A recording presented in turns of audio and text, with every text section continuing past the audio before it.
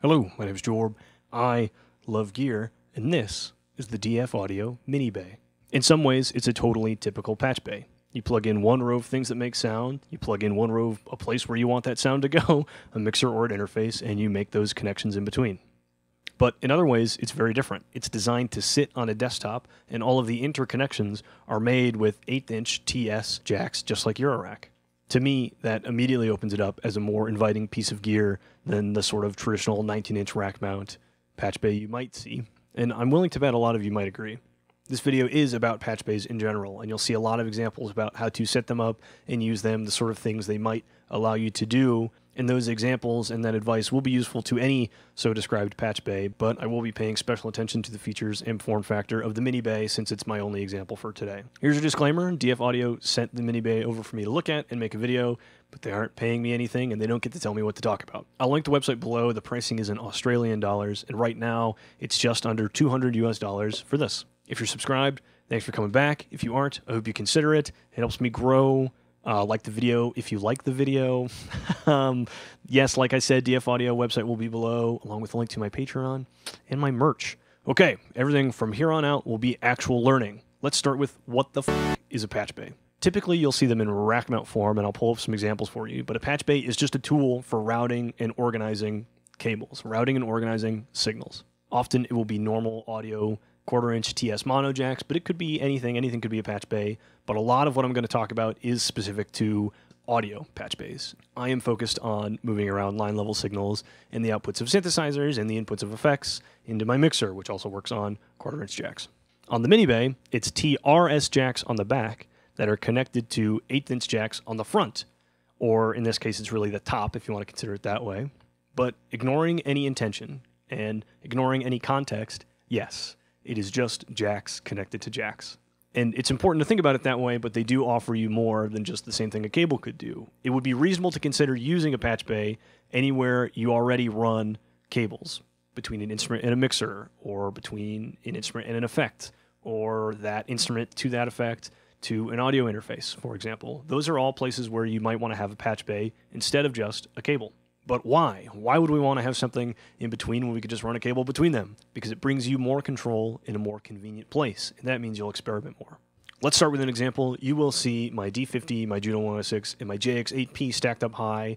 And in the simplest way, I talk about those connections being a more convenient format. This might feel very superficial to you, but I bet there's some studios who will say, ah, I could really, really use that.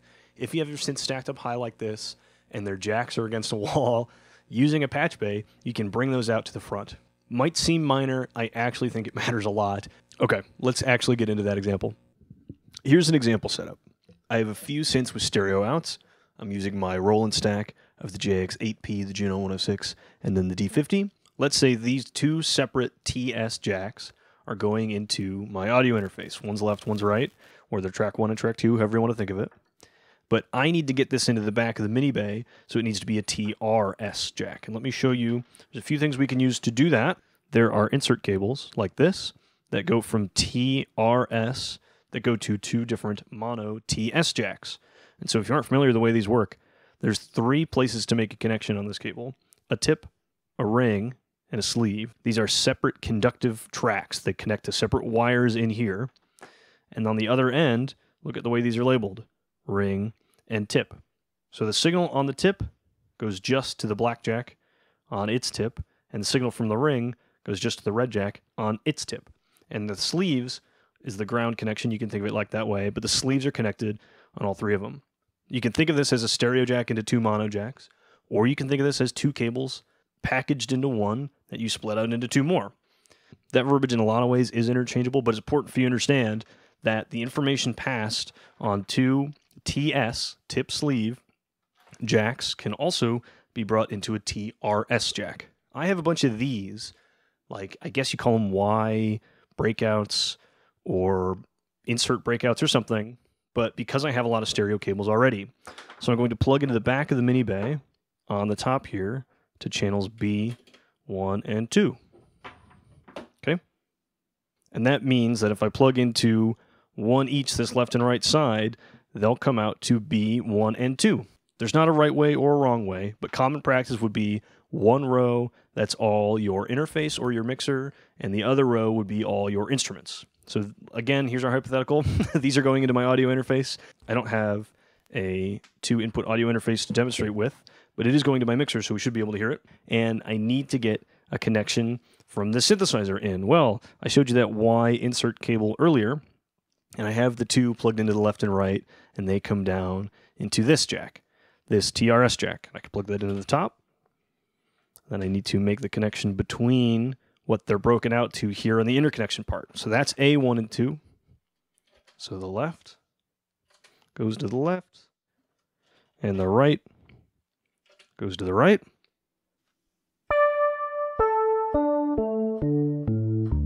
Now we can hear it. Wonderful. Great. Okay. Well, what about one more up? What about we turn on the Juno? Here are the two cables going to the Juno. They're two separate uh, guitar cables, TS into another TRS, and I'm going to plug that into the next two A slots. But we still only have two outputs back to our audio interface. The easiest thing for me to do is unplug those two and move them up.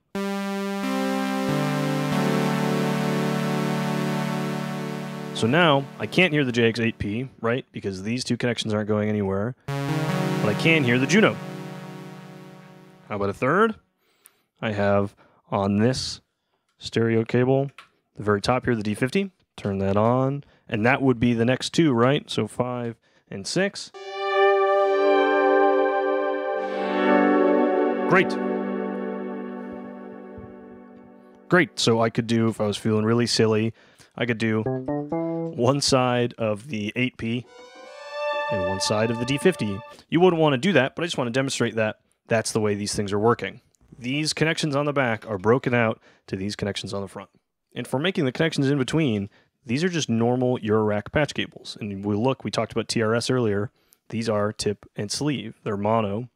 Great, there's a few other things I could demonstrate with this connection. A lot of patch bays have a feature called normaling. And what we've learned so far, you would think I wouldn't be able to hear anything because nothing's plugged into my audio interface jack, which is just B1, B2 on these cables, right? But and normaling means if you have something plugged into A on the back and something plugged into B on the back, those jacks will be connected.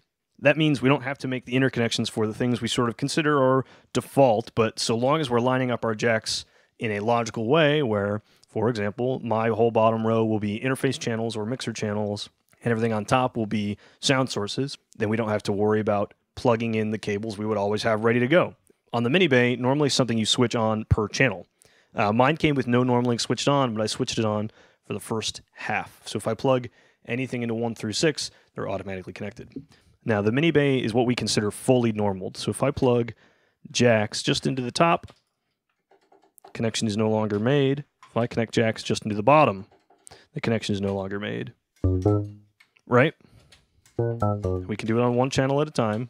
But there's such a thing as half normaled, and in a half normaled configuration, we could plug jacks into what we're considering the top row here, and your signal would still continue. Okay, great, good examples. Uh, but what if we don't have a mixer, or we ran out of mixer channels, and we want multiple sounds to come into our two audio output paths? Well, one cool feature of the Mini Bay is these two separate 3 to 1 passive summing mixers. So let's continue with our example of I've only got two outputs to my audio interface, and I want to connect all three of these synths at the same time. Realistically, if I have these synths, I'm somebody would have a mixer too, wouldn't I?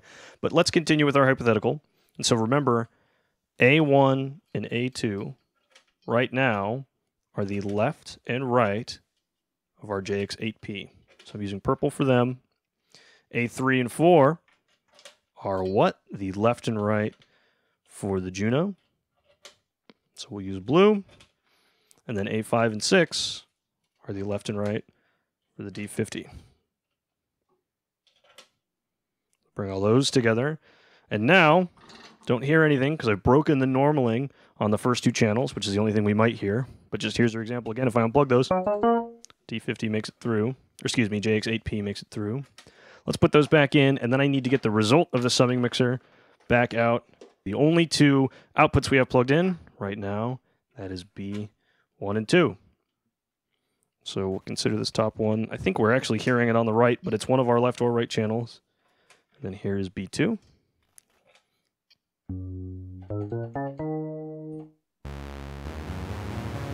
A little bit of volume drop because it's a passive mixer. Nothing's getting amplified in or out of it. But we can hear all three of these synths, all three of these synths passively, but mixed down all the way just to two jacks. Wonderful. Okay, I like this experimental camera angle, but let's try something else. Now I've got a mono output minilogue and a digital delay pedal. Let's start with just the minilogue. It is monophonic out, right? And it's only on a single jack. So it looks like any normal TS jack. So I'm going to plug that into the output of the back here. And then I will bring the other end back. And let's just plug it into A1 and 2. See what we hear. Just on one channel, right? Thing. We're normaled, right? So A1 and B1 are connected, A2 and B2 are connected. We're only hearing one channel because this is a monophonic out right? It's passing a single signal, and we're passing it to one of these two. So we can find out which one by breaking the normaling. It is 2, so if I plug A2 into B2, we hear it again. But A2, which is the output now of the minilogue, we're on the tip of what would be a TRS jack. I can move to the other side. Now, if I want to connect it to both, this is a bit of a hack, and I don't know if this is kosher, but I just want to show you options for working without the insert cables. I have this Eurorack splitter cable. So this one big blue jack goes to this female end and this male end. So I plug another patch cable into the end, and we want to split out of A2 into B1 and B2. Now that one channel of audio from the minilogue is getting plugged into both B1 and B2. Now, because I'm running into my mixer, chances are I don't need to use a stereo channel on the mixer. I've probably got mono channels on the mixer. Or if I just unplug the left or the right, I can work it in mono too, right? But I'm showing you this just to give you more examples of how you might interact with these things. So I have this, another TS jack, plugged into a mono input on my mixer. And I'm going to plug that into what would be B3 and 4. Okay, and then why don't we just continue the normaling? I'll put this into A3 and 4. So when you just plug in two sets of TS mono jacks, they'll work fine.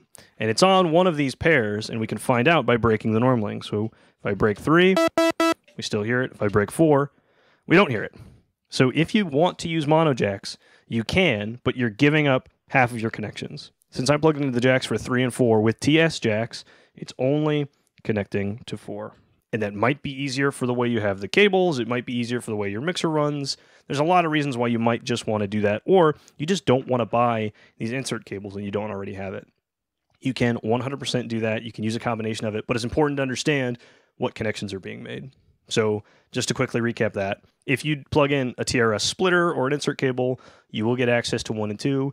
If you're just using mono connections, TS, you will only get the second. So, you get all the even ones on top and all the even ones on bottom. Cool?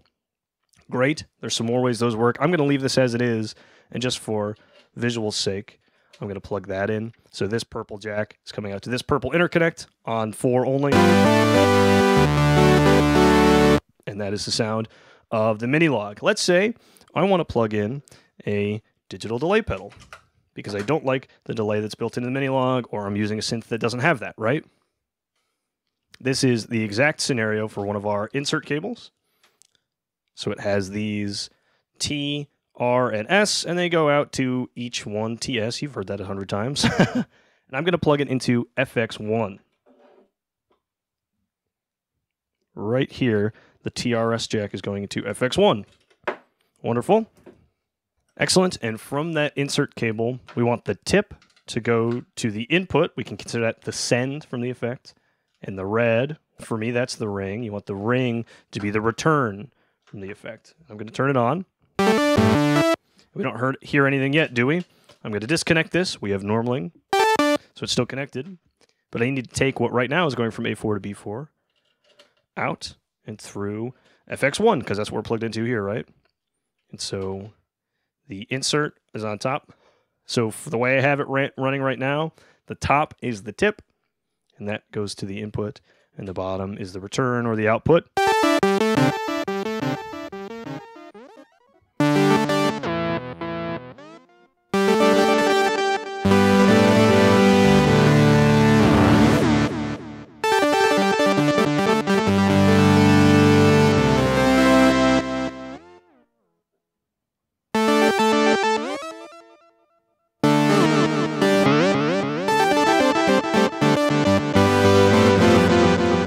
If I decide that I don't want to hear that effect anymore because this connection is normal, that's all we need to do. We need to disconnect the connections from A4 and B4. So yeah, you know what? I don't want that. And there we are. That's all we need to do. Alrighty, now we've got three effects and three synthesizers or sound makers here. And I'm going to step you through everything I plug in, and then I'll use this setup for a lot of little examples. So I have, same as we have, a stereo channel from my mixer into a single TRS jack. And we're going to plug that into, we're going to plug that into B1 and 2. Okay. And then, and then I've got two mono channels from my mixer on these two guitar cables. And I could plug them into their own jacks, or I could use one of these splitters and take advantage of both of the things on that channel. So I'm going to do that. I'm going to plug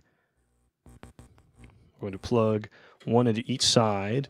And now we have two mono tracks for B3 and B4. Cool, and that's everything I'm going to do for outputs.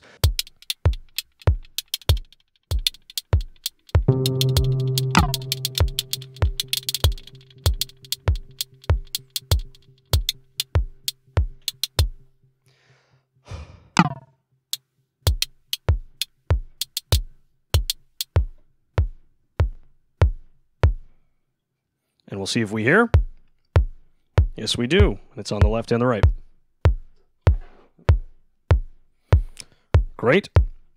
That's currently running in stereo to the very beginning. And then I'm going to run the last two in mono, and we have two mono channels, if you remember. Let me show you here. They're two different looking guitar cables. We have these two jacks into B, 3, and 4. So why don't we preserve our normaling and do two mono connections to the last two keyboards. I need one more cable. How about orange for the microKORG? And the other connection here. Okay. So remember we have things normaled. So A1 and 2 from the cycles here. On the orange into the tip of this splitter. And that splitter out on its tip, which is this guitar cable. And I believe that would all be A4 and then the minilogue on A3. And we can check some of those if we would like to. I've been talking about normaling all day. I'm going to break some normaling. I believe. Yep. So there is the microKORG on A4, the minilogue on A3, and left and right for the model cycles on A1 and 2. Great. How about we plug in our effects? I've got insert cables again here on FX1, TRS in, dual TS out. We want to plug black into the input. That is the tip, and red is ring. It's also our return. That goes into the output. Let's get another insert cable. FX2. Let's run the small stone. Remember, our tip is our send, our ring is our return or our output. And now this stereo chorus is a mono in and a stereo out. So we have a few things to decide here. There's a few ways we could run this. I'm going to run it in consideration with the way it will look on the front panel. So I'm going to plug into FX3 a mono cable, and that'll be our input to it. And then on the way back out, on the way back out, I have one of these insert cables with two guitar pedal patch cables, which is going to look really, really funny when I plug all this junk in. but I'm using the cables I've got. How about that? Okay. And then those we'll come back in on FX4. Great.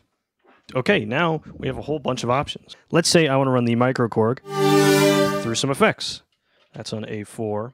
Let's go into FX1, which is our digital delay. And then you saw this before. I can come back out and go right into A4. And then we're running through there, right? Well, what if I don't just want to run through that? I also want to run through the small stone. Then I go up into FX2 and then back down into the same output. And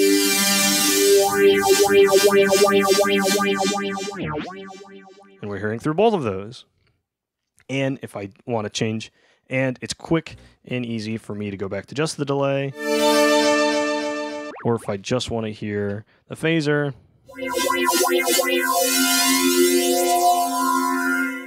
I can do that, or I want to change their order. Now we're running into the phaser first. What if I run a run out of the phaser, which is FX2, into the delay, which is FX1?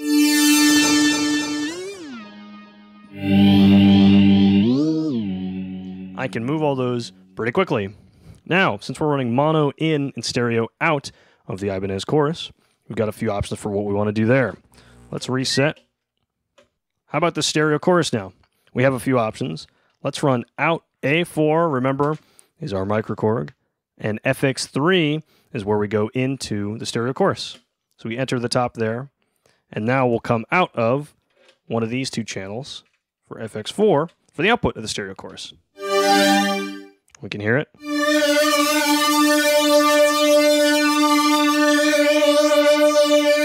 But it is just in mono. If I run it in stereo, what are our options? Well, currently, I only have one stereo group of channels plugged in, B1 and 2. Is there anything wrong with me plugging the two stereo outputs out of the chorus into that instead?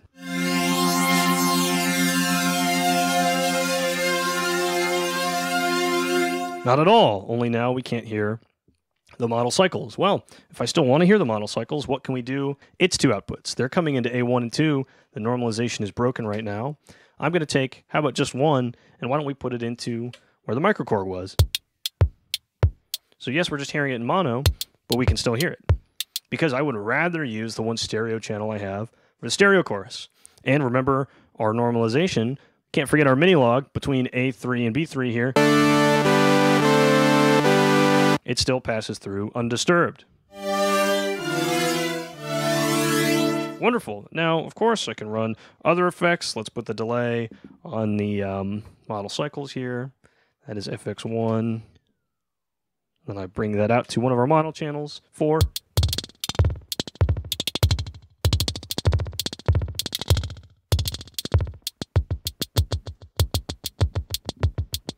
And same as always, if I change my mind I can just unplug those things and go back to where we were. Great. I could run through little examples that over and over again, but I think you understand what I'm trying to say. This, and actually, I'm like that the table looks like a mess, and I like that these cables are a mess because this doesn't. And as soon as I get to a point where I'm like, ah, overwhelmed, if I did a good enough job setting up, all I need to do is return to my normalization, and we can hear everything that we want to hear. But I have these options for flexibility. I have these options for experimentation. If it comes up that I'm working on a track and I say, hey, you know what? Maybe I want to flip the order of my effects. And that's as simple as moving around some patch cables. Or I want to try running this in mono instead because something else is stereo right now. And that might be important to the sound or the song you're working with or whatever. Anyway, I'm going to set up something to play these all together and play myself out. I could run you through more examples of different signal routing, and maybe I'd touch on your specific case, but I think we're all better served if I just pull out to the face cam and draw some conclusions. So yes, one more time, patch bays are just jacks connected to jacks, but they let you tap into the middle of signals you are already going to route. And that difference, that new option, is enough to make them useful to me. Ignoring the fact that, yes, they offer more convenient access to jacks if you have synth set up in some semi permanent way that it's hard to get to their backs. If we ignore that, they encourage you to experiment because those connections are right in front of you. Things that you leave plugged in all the time, if you put a patch bay in the middle, now you see it and you think about it. Well, what if I move that somewhere else? What if I put something else in the middle of that chain? It encourages you to experiment simply by putting the options in front of you. I think that's valuable, and that's true for any patch bay, but my thoughts on the mini bay specifically. Being laid out for desktop use immediately makes it fit better in the sort of setup that most people have today, or I see most people having today. I don't see a lot of rack mount units. You see a lot of people laying things out on a tabletop, effects and synths in their mixers, and this can fit right next to them. If there's any downside to the form factor or features of the Mini Bay, it has to be the fact that it uses insert jacks on the back. Yes, that is the reason it can be so small. That is the reason it's so inviting. That's the reason I think it kind of stands out. And you can use Eurorack, Eurorack patch cables. All those things are possible because of the form factor, and that is possible because you're using TRS jacks on the back. So I think it is a necessary choice. Uh, insert cables are not that expensive, but if you don't have them, it just seems like another thing to buy. Well, right on the DF Audio purchase page, there is a link to some pretty cheap insert cables that will presumably work fine. And I made sure to show you examples using just mono cables that, oh, you've only got four insert cables and you want to keep using more of your jacks. You can. You just, for each of those connections, like we saw, give up one of your possible jacks. It's not the end of the world, and you can use this very thoroughly with just mono jacks. But to take full advantage of the I.O., yes, you do need insert cables. I think for the trade-off of the form factor, that's absolutely worth it. I hope people do look into the mini bay. It seems so simple, and patch bays aren't exciting, patch bays aren't sexy, but bringing out